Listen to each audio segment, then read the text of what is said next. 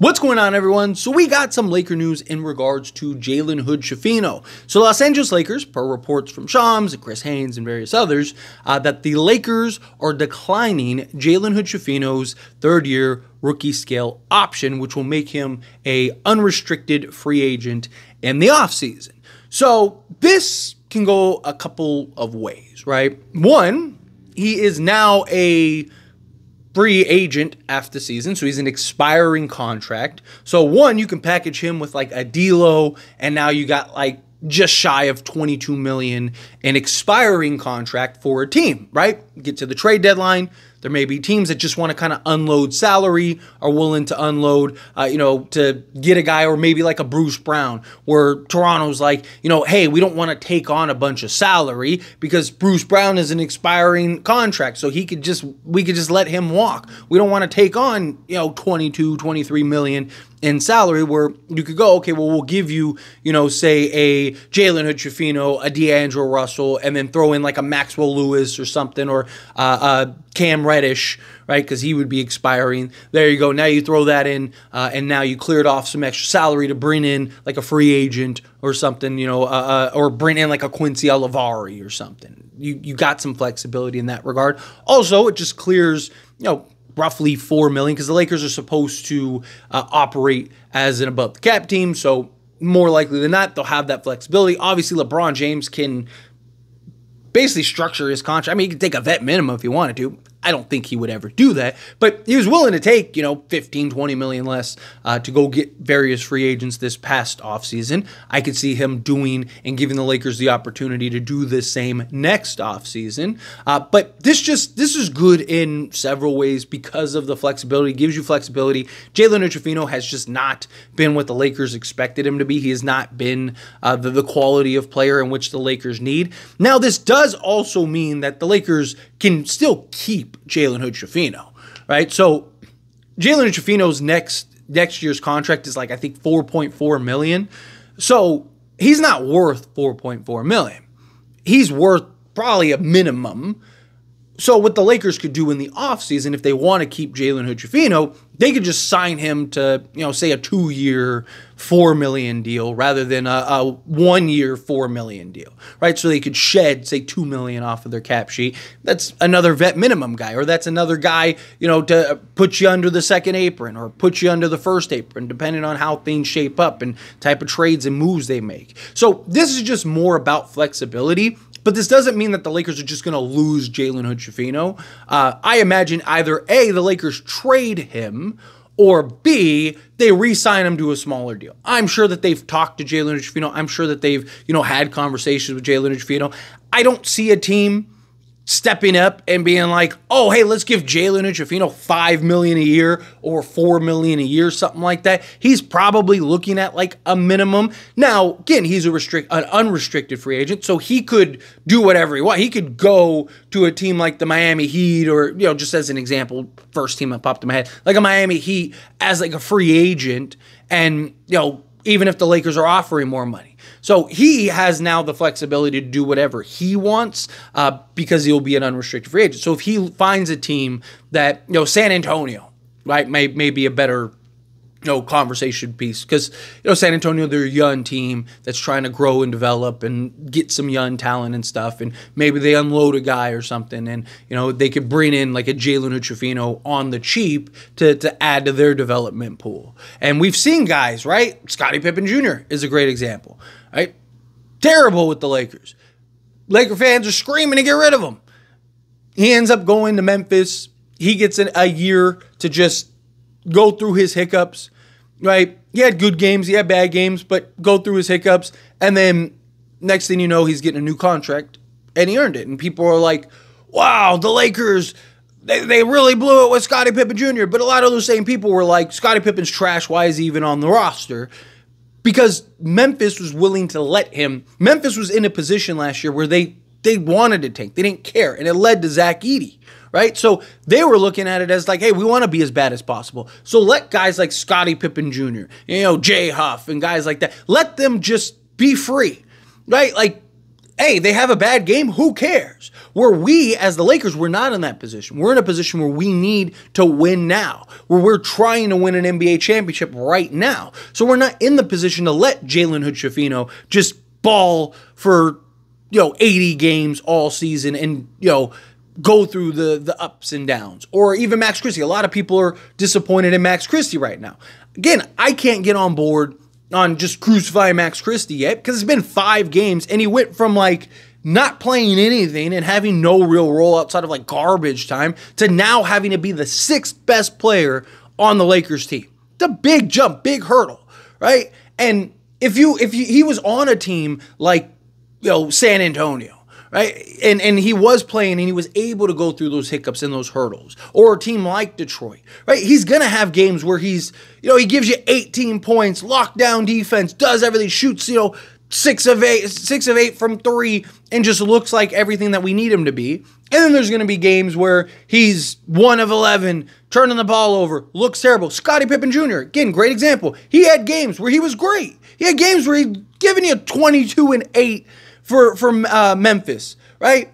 And then he'd have a game where he was like giving you a goose egg, have like eight turnovers with three assists. He was like there. It was like this guy's unplayably bad, right? But Memphis was willing to let him go through that.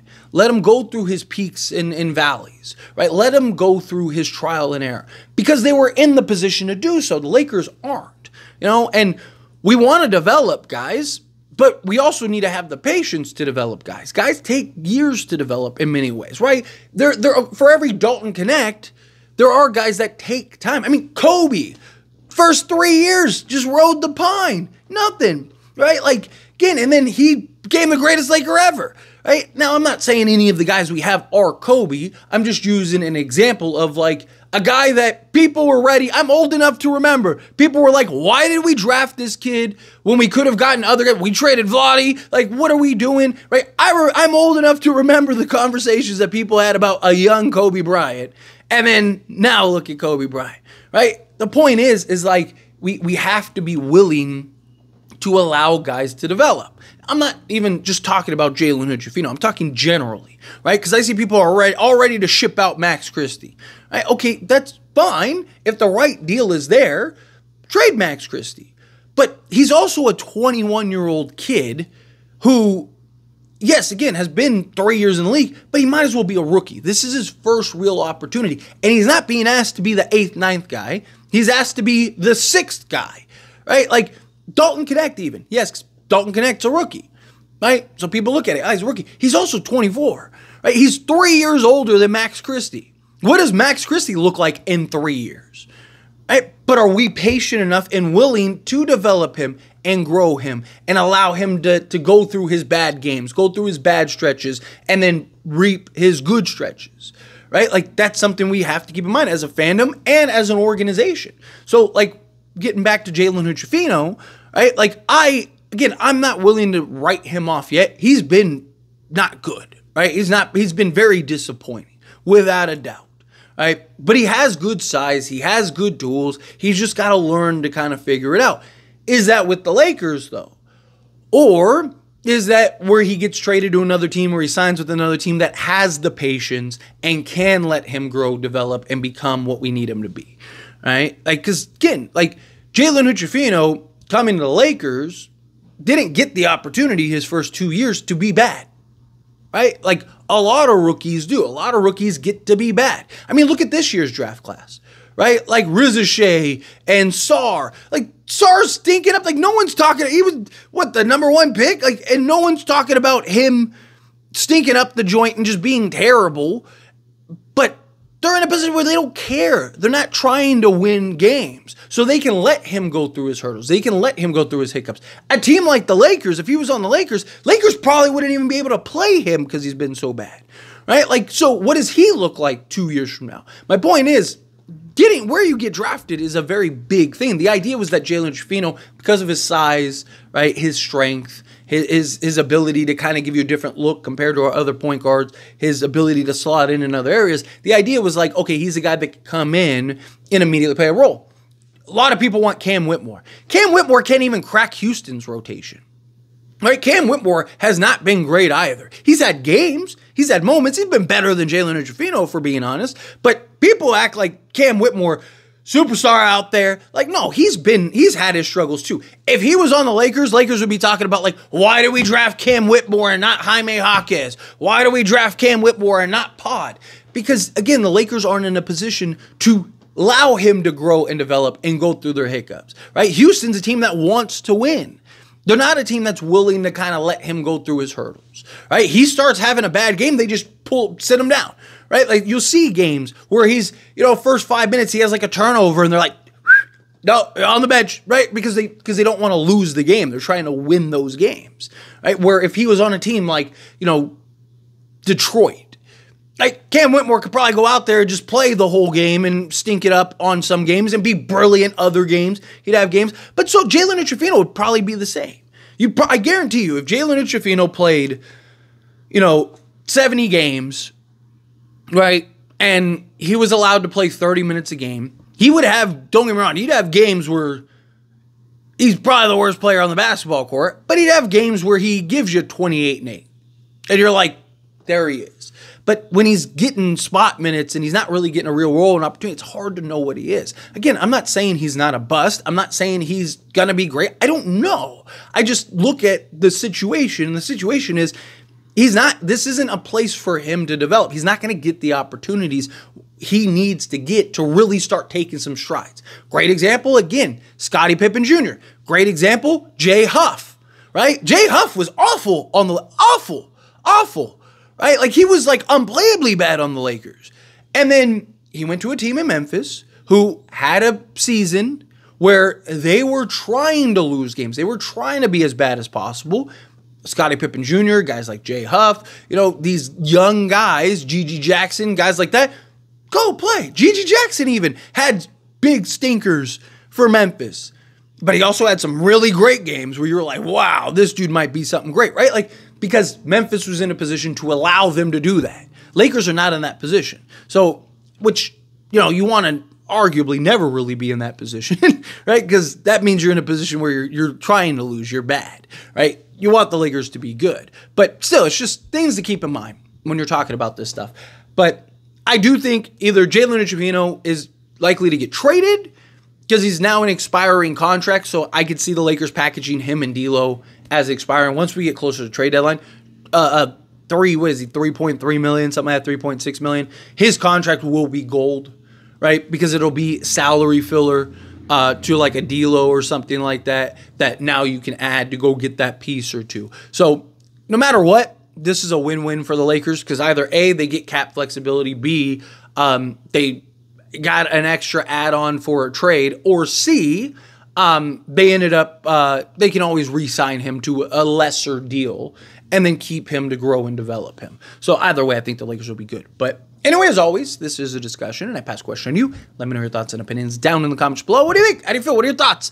Uh, do you agree with my points? Disagree with my points? Are you kind of in the middle with my points? Again, I, I want to be clear. Like, I don't think Jalen Hood-Schifino has been good by any stretch of the imagination. He's been bad. He's been a very bad basketball player. He does not look like an NBA player. But again, my the point that I'm trying to get across is we we need to be able and allow guys to develop. Right? We need to allow be able to allow guys to to get to that point to where we can figure it out. Right? We're we're very impatient not just fans, but the Lakers organization, period, right? We usually just get guys to a point where we could trade them, right? Like to where it's like, okay, a team sees value in them, right? So you need to get to a point where you're willing to develop them. But we'll see. We'll see how it all plays out. But anyway, as always, let me know down in the comments below. That being said, if you haven't liked this video, hit that like button. Helps me a lot. It's me enjoy these types of videos, and I truly appreciate it. Not subscribe channel, hit that subscribe button, turn on the bell notifications. Appreciate y'all. See you in the next one. Thank you.